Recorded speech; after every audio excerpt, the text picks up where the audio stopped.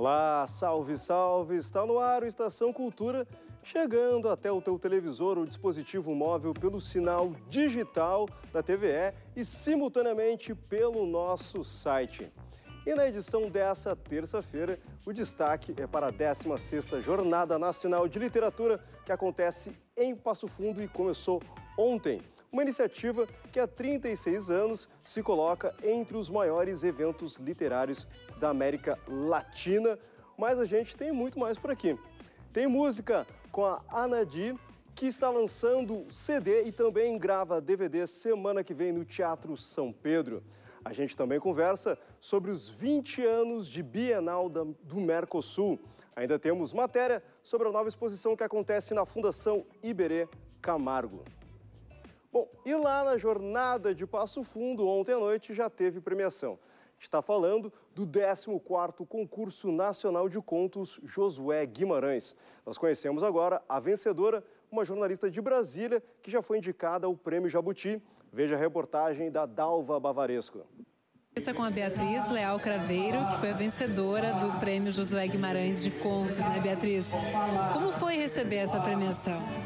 É, foi bastante emocionante e é, é bacana é, ver assim materializado o reconhecimento do seu trabalho, né? E, e, eu fiquei surpresa com o número de inscritos e saber que, que eu fiquei né, como primeira colocada é um, é um motivo de orgulho, né? Com certeza. Quando é que você começou a escrever? Conta um pouquinho pra gente do seu trabalho até agora. Você é jornalista de formação, né?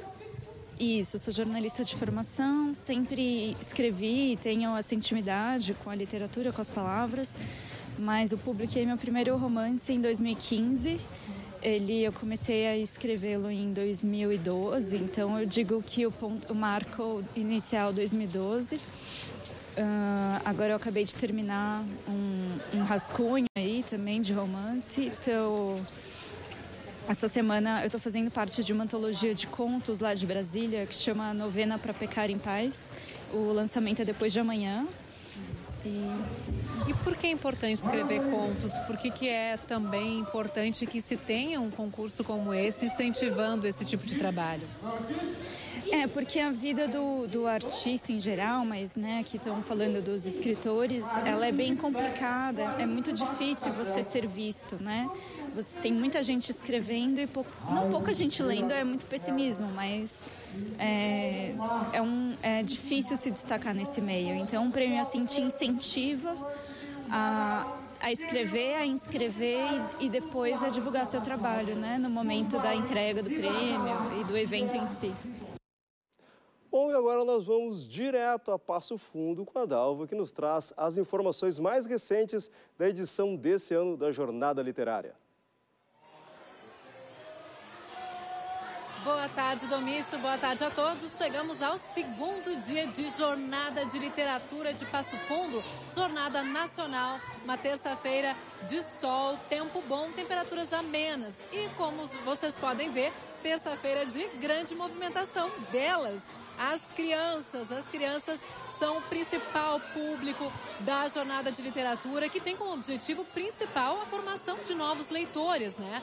São 20 mil alunos esperados durante toda essa semana de jornada e 2 mil adultos. As crianças vêm, circulam aqui pelos estandes desse espaço que é o Espaço Drummond, tem muitas livrarias, participam de diversas atividades, brincadeiras e à tarde tem encontro, encontro com os escritores que elas leram nos meses que antecedem a jornada. Ontem à noite aconteceu a abertura oficial desse evento e foi muito bonito. A gente tem inclusive algumas imagens para mostrar para vocês um espetáculo que uniu diversos tipos de arte: literatura, música, dança e também arte circense. Espetáculo chamado Jornada de Livros e Sonhos da Companhia da Cidade teve a participação de 130 artistas e também deu vida aos quatro escritores homenageados dessa edição da jornada, que são Ariano Suassuna, Carlos Drummond de Andrade, Clarice Lispector e Moacir Clear. Espetáculo muito bonito que marcou essa primeira noite de jornada. Mas agora a gente vai conversar com um dos 75 escritores que estão participando desse evento. Chega para cá, por favor, é o Felipe Pena, ele que vem lá do Rio. Tem 16 livros no currículo, inclusive esse que é um dos mais vendidos, um romance, o verso do cartão de embarque. Vou mostrar para vocês aqui. Ele também foi finalista duas vezes do Prêmio Jabuti e, além de escritor, é jornalista e psicanalista. Felipe, você participa aqui da atividade da jornada com diversas mesas, né? diversas discussões sobre literatura, leitura. Pode falar um pouquinho sobre a sua participação? Boa tarde. É, boa tarde, boa tarde a todos. Eu vou participar de oito mesas, na verdade, as cinco mesas principais da tenda e mais três mesas na Flicom, que é a festa literária da comunicação que acontece hoje e amanhã de duas às seis da tarde, que reúne pesquisadores de comunicação, jornalistas, publicitários, ativistas que fazem literatura. Por exemplo, o Tico Santa Cruz, que é um músico muito conhecido e que tem livros publicados. Jurumir Machado, que é um grande professor de comunicação que tem livros publicados. E a gente vai discutir essas fronteiras entre o jornalismo e a literatura e como isso é apropriado pelas mídias digitais, por exemplo. São alguns dos nossos assuntos sua primeira vez aqui na Jornada de Literatura de Passo Fundo, né? Quais são as primeiras impressões? Ah, excelentes, né? Ver essa criançada correndo aqui, a gente passa a ter um pouco mais de esperança, né? Passa a ter esperança no futuro da humanidade através da leitura. Quando a gente vê a formação do leitor, que era exatamente o que você estava mencionando no começo do, do teu texto, né? Para formar bons leitores, a gente forma bons cidadãos também, que você é capaz de refletir, de formar pessoas que vão refletir. E no momento que a gente vive num país, né, que é um momento muito grave, um momento em que, na minha opinião, a gente está não numa democracia, mas dentro de um golpe de Estado, quando uma presidente da República foi derrubada sem ter nenhum crime de responsabilidade e assumiu o país uma quadrilha que está no poder, um presidente da República denunciado, dois ministros denunciados, e a gente vê malas de 51 milhões na casa de um ex-ministro, e a gente vê essa criançada aqui, a gente tem esperança nelas, que a outra parte lá já acabou, né? Você tem um trabalho aí que atua em diversas frentes, também trabalha com roteiro de TV, dá aula disso, né? Quais são os próximos projetos que vêm pela frente? Eu estou terminando agora um quarto romance que vai dar início a uma nova trilogia, vai se chamar Trilogia da Mídia, porque vai ser a história do Brasil contada através das mídias. Então, de 64 até 2016, vai ser pela televisão, é um personagem que é português e vê o mundo através da televisão. De 1930 a 64 é um indígena que vê o mundo através do rádio, ouve o rádio, percebe a história do Brasil e da proclamação da, proclamação da República de 1889 até 1930 é um indígena que é alfabetizado através dos jornais. E é assim que eu vou reconstruir a história do Brasil pela visão das nossas etnias formadoras e também das nossas mídias. Desejo sucesso no seu trabalho, uma boa participação aqui, bom passeio na Jornada Nacional de Literatura. Muito obrigado, eu estou muito feliz de estar aqui e de receber essas boas-vindas de vocês. O povo gaúcho realmente é um povo muito acolhedor. A gente que agradece a sua presença. Obrigado mais uma vez. E amanhã nós voltamos aqui trazendo mais informações da Jornada Nacional de Literatura. Hoje à noite no Panorama, a partir das 7h15, também tem matéria e tem mais informação. Voltamos agora com você, Domício, no estúdio.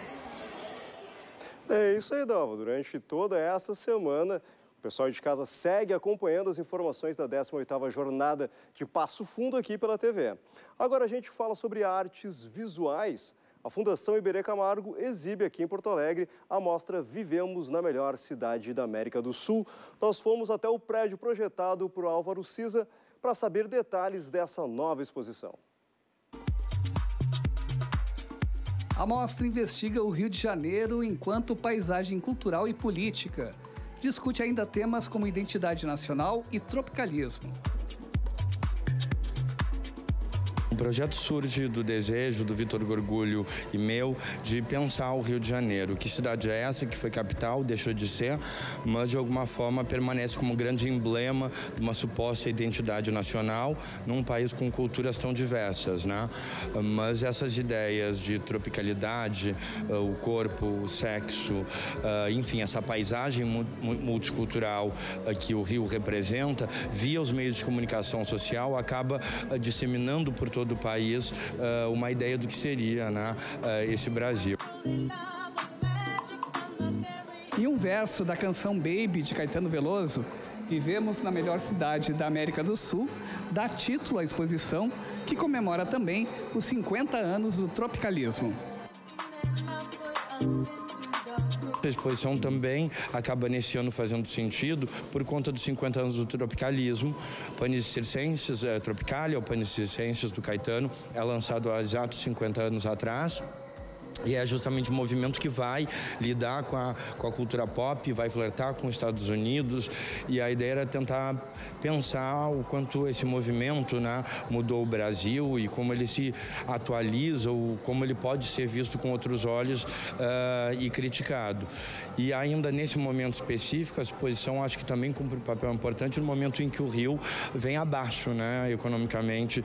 A cidade vai muito mal, o Estado, uh, então, nem se fala. Uh, mas essa invasão recente da Rocinha acaba reatualizando a importância de se discutir uh, esse painel político e cultural tão diversificado, tão dramático quanto o Rio. O Rio de Janeiro Cartão Postal e seu reverso é apresentado através de obras de 33 artistas.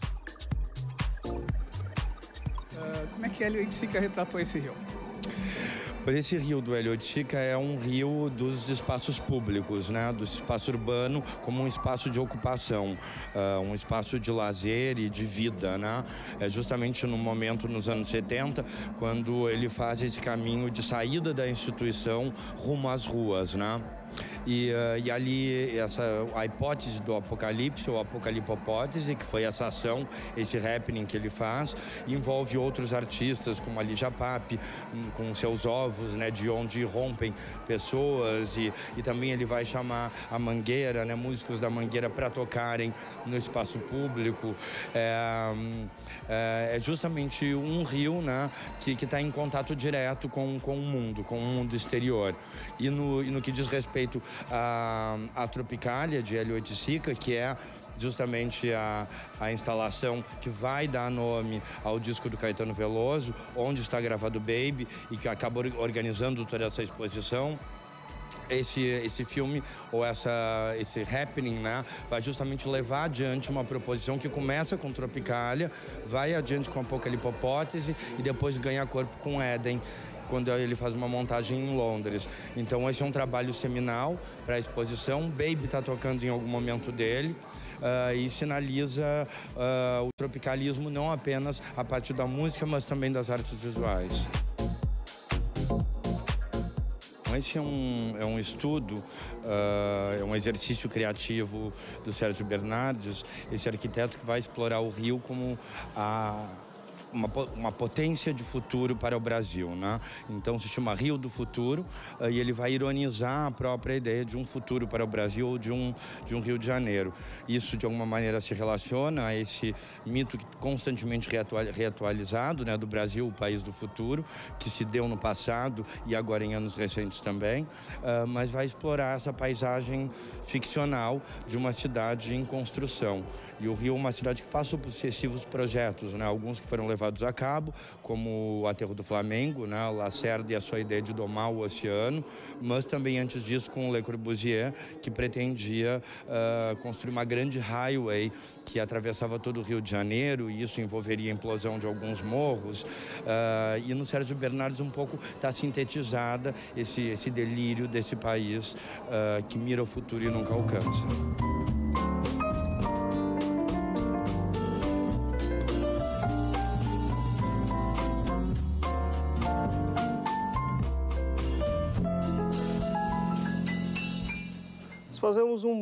Breve intervalo e já voltamos com mais informações culturais e com a música ao vivo de Ana Di aqui no estúdio. Já voltamos.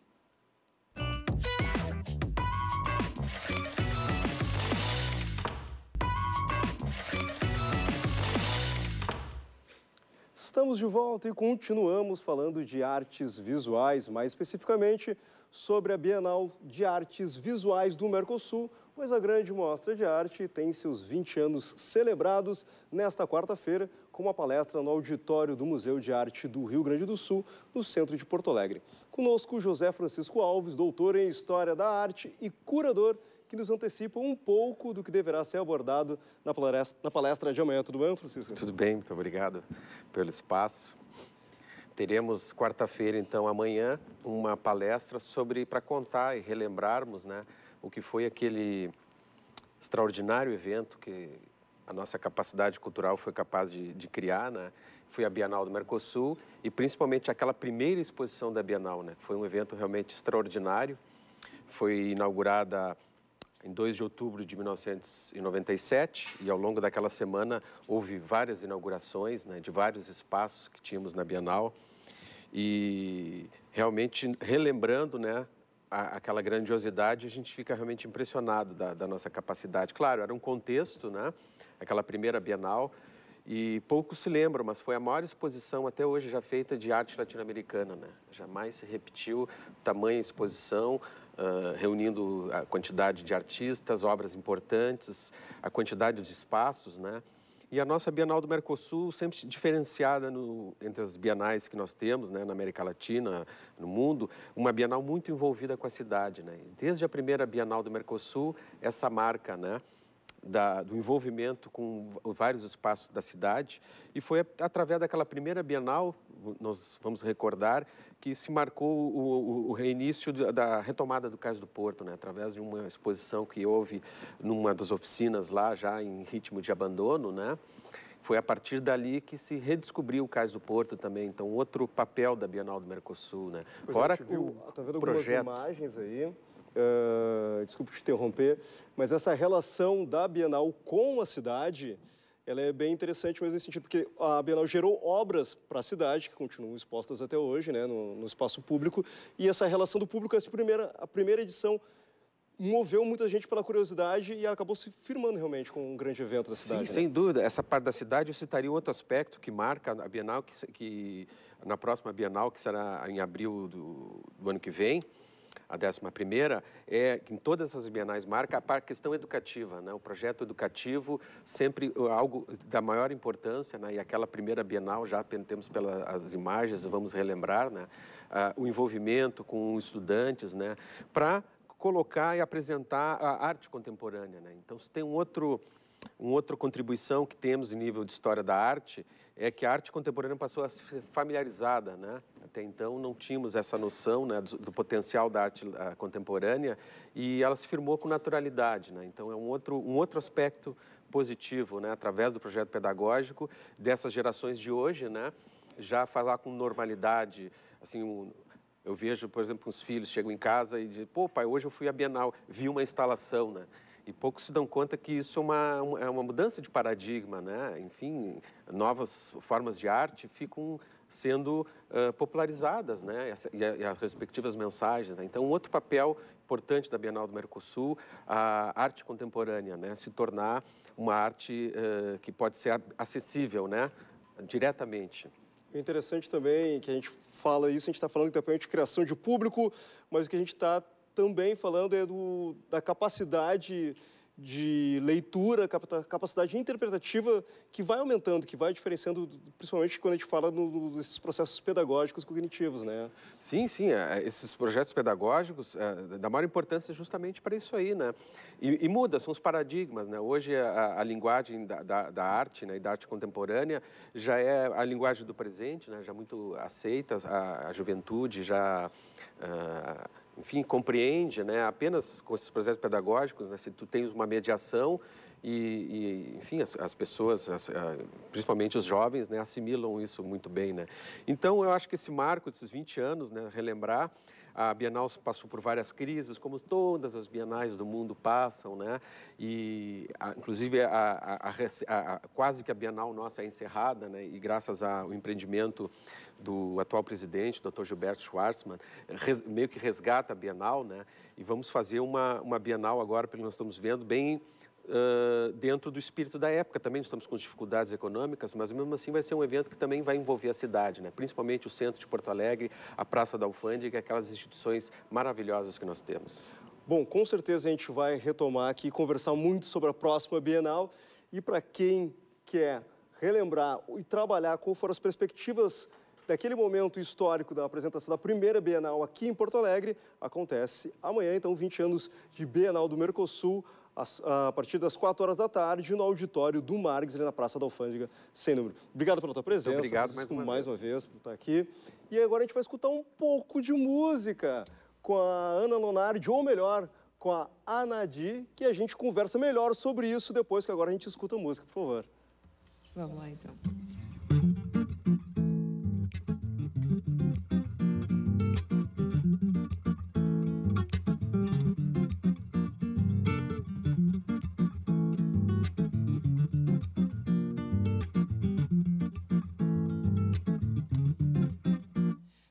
Existe o homem de verdade, o moleque só imita. A embalagem é bonita, só que o produto é de camelô. Nunca funciona direito, parece perfeito, só que não durou. Nunca funciona direito, parece perfeito, só que não durou. Todo mundo já conhece, já tá mais falado que samba de break. A verdade sempre aparece, você não é homem, você é moleque. É fake, é frio, é uísque barato em garrafa de jack. É fake, é frio, você não é homem, você é moleque. É fake, é frio, é uísque barato em garrafa de jack. Eu falei que é fake, é frio, você não é homem, você é moleque.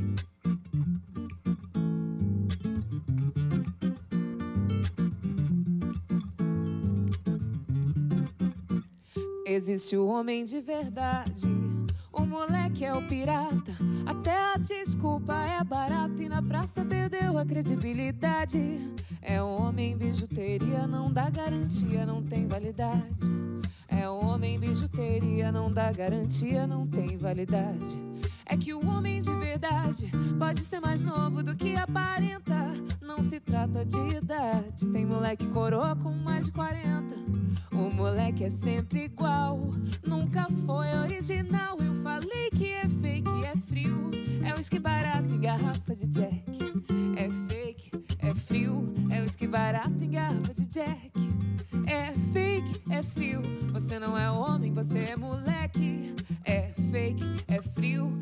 Barato em garrafa de jack. Eu falei que é fake, é frio. Você não é homem, você é moleque. Diz que é homem de verdade mas não faz o seu papel. Já vi de longe que é falso. Desses que nem a cópia é dá dor de cabeça, é o similar, não é do bom. Antes que ele desapareça, minha filha. Se ligue, liga no Procon. É fake, é frio, é uísque barato em garrafa de jack. É fake, é frio, você não é homem, você é moleque. É fake, é frio, é uísque barato em garrafa de jack. Eu falei que é fake, é frio, você não é homem, você é moleque. É uísque barato em garrafa de jack. Você não é homem, você é moleque. É uísque barato em garrafa de jack, eu falei que é. Você não é homem, você é moleque. Isso aí, no dia 10 de outubro, na terça-feira que vem, no Teatro São Pedro, acontece o lançamento oficial de estreia da Anad, que a gente está recebendo pela primeira vez aqui no Estação Cultura, com o disco Noturno. O show também será gravado e lançado em DVD é estreia aqui para nós também, porque é uma estreia de uma nova fase. É isso. É verdade, estreia de um novo nome. Deixa eu só apresentar o meu amigo queridíssimo, grande músico, o Max Garcia. Eu ia falar Rafa Marques, porque é um outro grande amigo. Mas o Max Garcia está aqui. Uh, sim, Domício, a gente está lançando o meu disco noturno no dia 10 de outubro no Teatro São Pedro. É, os ingressos estão disponíveis no site para quem quiser assistir o show com a gente. A gente vai ficar muito feliz se vocês forem. E ele pode ser encontrado em todas as plataformas digitais. É só procurar Anad Noturno. Anad tem dois As no meio, então acho que vai aparecer ali no VT. E tem participações especiais do Serginho Moá, do Roberto Menescal, do Gelson Oliveira, do Bebê Kramer, do Samuca do acordeon e do Jorginho do trompete. Pô, a ficha técnica desse disco tá linda, tá né? muito linda. E como é que vai ser o show? Algumas dessas participações sobem ao palco também? Sim, sim. O Serginho Moá vai subir ao palco, o Jorginho do trompete também e a Neca Ayala, que não está no disco, mas vai estar tá participando do show porque a gente tem uma composição juntas inédita que a gente vai fazer nesse show. E estamos confirmando o Gelson Oliveira, estamos vendo se ele vai poder, se ele puder, a gente vai ficar super feliz também. Bom, esse disco, ele é muito, tu falaste, é uma reestreia, é um, tipo, é um ressurgimento, é um renascimento, e é muito interessante nesse sentido, porque tem muitas músicas tuas também, tu compondo também, e as músicas que tu não compõe, tu dá muito a tua cara para elas também, sim, né? Sim, sim, na verdade a maioria das músicas é são músicas próprias. Tem duas releituras da MPB, uma do Chico Buarque, que é a Samba e Amor, que é uma música não muito conhecida do Chico, e outra é a Flor Espinho, do Nelson Cavaquinho. E a gente, sim, deu a nossa cara, fez uma fez arranjos que que enfim, corroborassem o disco, né? Que tivessem a cara do disco. Ele é um disco com influências múltiplas musicais, assim, é um disco que eu costumo dizer que ele é etnicamente misturado, assim. Tem influência de música africana, de jazz, de samba, de MPB, de reggae.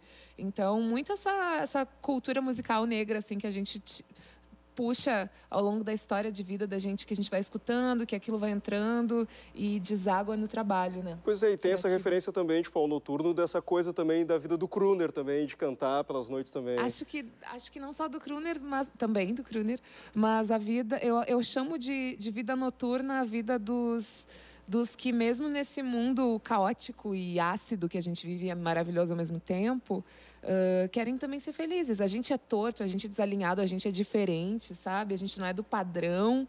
Ninguém é do padrão, mas a gente precisa ser feliz, a gente precisa se divertir. Então, eu acho que a noite é um ambiente que acolhe as pessoas nesse sentido, sabe? Acolhe os diferentes, acolhe os desalinhados e todo mundo vira gato pardo, né? Todo mundo vira gato pardo na noite e, e se permite ser feliz, se permite viver as suas paixões, assim. Esse disco é muito nesse clima.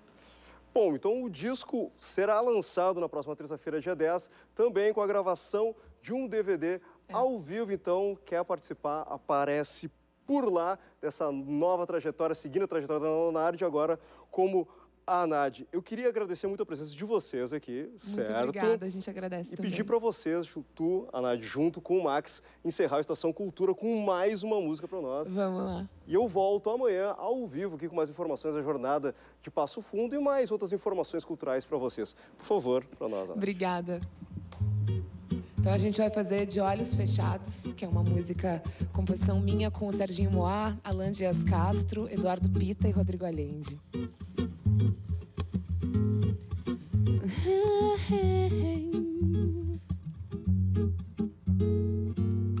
Meu corpo encontra sua mão e não precisa procurar.